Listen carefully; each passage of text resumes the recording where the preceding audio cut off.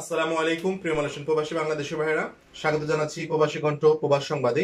আজ তেসরা আগস্ট দুই হাজার একুশ। আপনাদের মাঝে যে বিষয়গুলো নিয়ে শেয়ার করব, গতকালকে মালয়েশিয়ার ইমিগ্রেশন প্রধান রিক্যালিব্রিসি পুলাং এবং কোয়ালালামপুর ইন্টারন্যাশনাল এয়ারপোর্টের যে কয়েকটি ঘোষণা দিয়েছেন, যে কয়েকটি সংবাদ বিবৃতি দিয়েছেন এইগুলো যে পর্যন্ত কতগুলো বাংলাদেশি কতগুলো ইন্দোনেশিয়ান, কতগুলো ইন্ডিয়ান লোক রিকার রিক্যালিব্রিসি পুলাঙে স্পেশাল পাস নিয়ে তারা দেশে গেছে। এবং যেই সমস্ত কমপ্লেন ছিল, সেই কমপ্লেন এগেনিস্টে তারা কি ব্যবস্থা নিচ্ছে? এবং কোয়ালালামপুর ইন্টারন্যাশনাল এয়ারপোর্ট ছাড়াও আর কোন কোন জায়গা থেকে স্পেশাল পাস নেওয়া যাবে স্পেশাল পাস নিয়ে অবৈধরা দেশে যেতে পারবে, এই বিষয়ে বিস্তারিত আলোচনা করব আজকের এই ভিডিওতে। এর আগে বলে রাখি, এখনও যারা আমাদের এই চ্যানেলে প্রথম, অবশ্যই আমাদের চ্যানেলটি সাবস্ক্রাইব করে রাখুন এবং বেল বাটনে ক্লিক করে রাখুন। যাতে মালয়েশিয়ার যে কোনো আপডেট সংবাদ উপস্থাপন করার সঙ্গে সঙ্গে অটোমেটিকলি পৌঁছে আপনাদের হাতে। আর যারা অলরেডি সাবস্ক্রাইব করে রেখেছেন তাদেরকে অসংখ্য ধন্যবাদ। তাদেরকে রিকোয়েস্ট করব আমাদের এই সংবাদটি প্রচুর পরিমাণ শেয়ার করুন যাতে অন্যরাও জানতে পারে। প্রিয় মালয়েশিয়ান প্রবাসী বাংলাদেশ বেড়া যেমনটি বলছিলাম যে গতকালকে মালয়েশিয়ার ইমিগ্রেশন প্রধান দাতুশ্রী দাজাইমি দাউদ উনি সংবাদ সম্মেলনে যে আপডেটগুলো দিয়েছেন কোলালামপুর ইন্টারন্যাশনাল এয়ারপোর্টের রিক্যালিব্রেশন পুলাং সম্পর্কে উনি বলেছেন যে এ পর্যন্ত এই পর্যন্ত গত নভেম্বর থেকে যে রিক্যালিব্রেশন শুরু হয়েছে, তখন থেকে এই পর্যন্ত টোটাল আটাশি হাজার চৌত্রিশ জন বিদেশিরা এদেশ থেকে তাদের দেশে চলে গেছেন আটাশি হাজার চৌত্রিশ জন। এবং এক লক্ষ সাত হাজার পাঁচশো চব্বিশ জন এই প্রোগ্রামের আওতায় এসেছে স্পেশাল পাস এবং অ্যাপয়েন্টমেন্ট নিয়েছিলেন। এর মধ্যে আটাশি হাজার অলরেডি দেশে চলে গেছেন। ওকে এর মধ্যে আমাদের সবার জানার আগ্রহ যে বাংলাদেশে কতজন গেল এ পর্যন্ত? বাংলাদেশে। জি, রিক্যালিব্রিসি পুলাঙে এ পর্যন্ত বাংলাদেশে গিয়েছে এগারো হাজার পাঁচশো দশ জন। আমরা মনে করেছিলাম যেটা হয়তো অনেক চলে গেছে, কিন্তু সে অনুযায়ী দেখতে পাচ্ছি মাত্র এগারো হাজার পাঁচশো দশ জন গেছে। ইন্ডিয়াতে গিয়েছে ষোলো হাজার একশো চুরানব্বই জন। বাংলাদেশের চেয়ে ইন্ডিয়াতেই গেছে বেশি। সবচাইতে বেশি গেছে ইন্দোনেশিয়াতে। ছাপ্পান্ন হাজার একশো চুয়ান্ন জন। ইন্দোনেশিয়ানদের যাওয়ার সংখ্যায় সবচাইতে বেশি।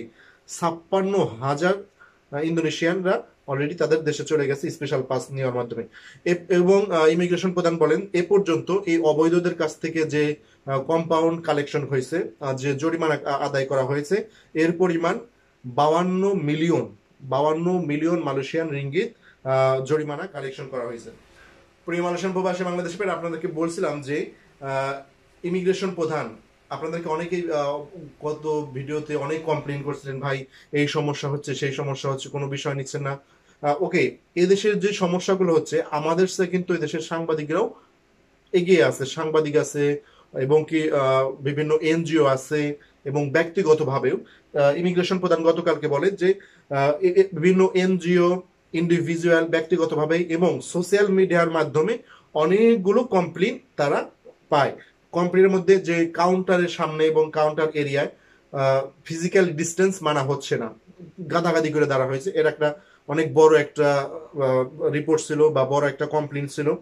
কোনো প্রকার খাবার পাওয়া যাচ্ছিল না ওই এরিয়াতে এতগুলো লোক সাত আটশো লোক এখানে হয়েছে, এক হাজারের উপরে লোক এখানে হয়েছে। কোনো খাবার নেই টয়লেটের ব্যবস্থা নেই। এই বিষয়গুলো কিন্তু কমপ্লেন আসছিল। ফ্লাইট মিসিং হচ্ছে যে তাদের প্রসেসিং ডিলে হওয়ার কারণে।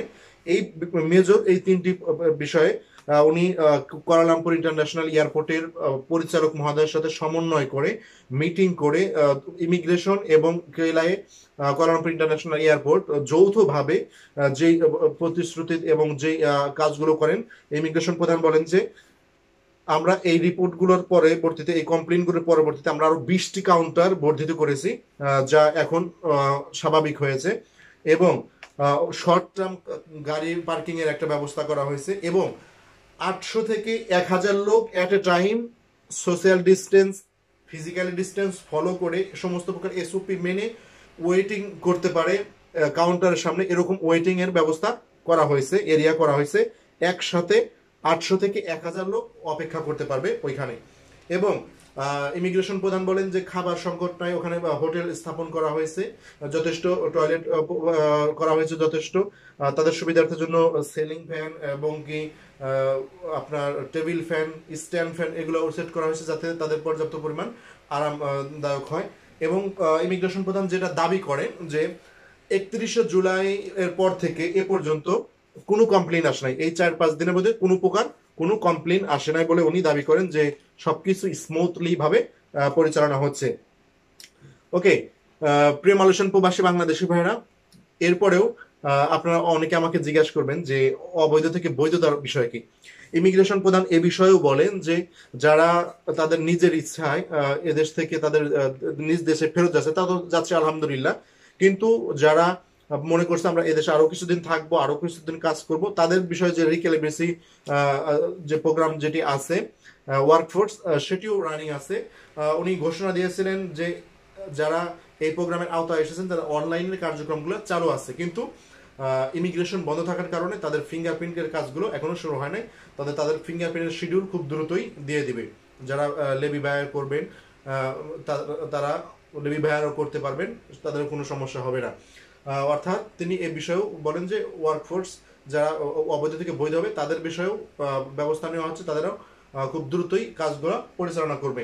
এবং আরেকটি কথাও তিনি বলেন, এর আগেও বলেছেন যে যারা অলরেডি ভিসা রিনিউ করার জন্য তাদের ডকুমেন্টসগুলো সাবমিট করেছেন লেবি বায়ার করছেন তিন নম্বর ভিসা চার নম্বর ভিসা পাঁচ নম্বর ভিসা তাদের ভিসা যেহেতু কোয়ালালামপুর স্লাঙ্গুর এবং নিগারি সিপিলাং এই তিনটি রাজ্যের অনেকগুলো পেন্ডিং আছে। তাদের ভিসা বলে হয়েছে যে আগস্ট, সেপ্টেম্বর, অক্টোবর। এই তিন মাসের মধ্যেই তাদের সমস্ত ভিসাগুলো কিন্তু কমপ্লিট করে দেবে। প্রিয় মালয়েশিয়ান প্রবাসী বাংলাদেশের এই মোটামুটি ছিল আজকের আপডেট সংবাদ। এখন আপনাদের সাথে শেয়ার করব কোভিড নাইন্টিনের আজকের আপডেট গতকালকে থেকে আজকে কিন্তু আক্রান্ত সংখ্যা অনেক বেশি। আজকে টোটাল আক্রান্ত সংখ্যা সতেরো হাজার একশো পাঁচজন বরাবরের মতো সিলাঙ্গড়েও সবচাইতে বেশি। তবে আলহামদুলিল্লাহ সিলাঙ্গড়ে গতকাল ছয় হাজার ছিল, এর একদিন সাত হাজার ছিল, আজকে পাঁচ হাজার আটশো ছত্রিশ জন, এটা একটু কমেছে। কোয়ালালামপুরে দুই হাজার তিনশো নয় জন, কেডাতে এক হাজার ছত্রিশ জন, জোহরে একশো এক হাজার দুইশো পঁচাত্তর জন। প্রিয় মানুষের, প্রবাসী বাংলাদেশের, আরেকটা কথা বলতে আমি ভুলে গেছি যে ইমিগ্রেশন প্রধান যে আরেকটা ঘোষণা দিয়েছেন যে আগামী আগামী আগামীকাল অথবা আগস্টের চার তারিখ থেকে আগামীকাল আগস্টের চার তারিখ থেকে আহ, Kuala Lumpur international airport two এর অবৈধদের দেশে যাওয়ার যে কাউন্টারগুলো আছে আগামীকাল থেকে শুরু হবে। Kuala Lumpur international airport two KLI টুতে আগামীকাল চৌঠা আগস্ট আগস্টের চার তারিখ থেকে তাদের কার্যক্রমগুলো শুরু করবে। এবং ইমিগ্রেশন প্রতিদান আরও একটা ঘোষণা দেয় যে জোহরের পাসির পাসির গুডাং এবং পোর্ট কেলাং থেকে জোহরের পাশের গুডাং আপনারা জানেন জোহরের লাউথ ইমিগ্রেশন সমুদ্র বন্দর ওখানেও অবৈধদের বৈধ অবৈধদের দেশে যাওয়ার সুযোগ দিয়েছেন স্পেশাল ফাঁসের মাধ্যমে ডিরেক্টলি এবং এখন থেকে জোহরের পাশের গুডাং এবং পোর্ট কেলাংয়েও কিন্তু পনেরোই আগস্ট থেকে, পনেরোই আগস্ট থেকে তাদের দেশ এই দুইটা কাউন্টার আবার খোলা হবে। অর্থাৎ আগামী পনেরো তারিখ থেকে জোহরের এবং পোর্ট কেলাংয়ের যে দুইটি কাউন্টার আবার নতুন করা হবে, ওখান থেকেও অবৈধরা স্পেশাল পাস নিয়ে দেশে যেতে পারবে। ওকে এবং বলা হয়েছে যে প্রত্যেকেই দুই থেকে তিনটি করে ব্যাগ বহন করতে পারবে। প্রিয় মালয়েশিয়ান প্রবাসী বাংলাদেশ বেড়া আজকে এই মোটামুটি ছিল আমাদের আপডেট সংবাদ। এরপরেও যদি আপনাদের কোনো কিছু জানা থাকে, আমাদের এখানে কমেন্টস করুন, আপনাদের কমেন্টসের উত্তর দেওয়ার চেষ্টা করব ইনশাআল্লাহ। আপনার কাছে রিকোয়েস্ট থাকবে, আমাদের সংবাদটি প্রচুর পরিমাণ শেয়ার করে অন্যদেরকে দেখার সুযোগ করে দিন, যাতে তারাও তাদের মনের ভিতরে থাকা এই আপডেটগুলোর প্রশ্ন, উত্তর তারা পেয়ে যায়। ধন্যবাদ সকলকে। আসসালামু আলাইকুম। দেখা হবে আগামীকালকে নতুন কোনো আপডেট সংবাদ নিয়ে।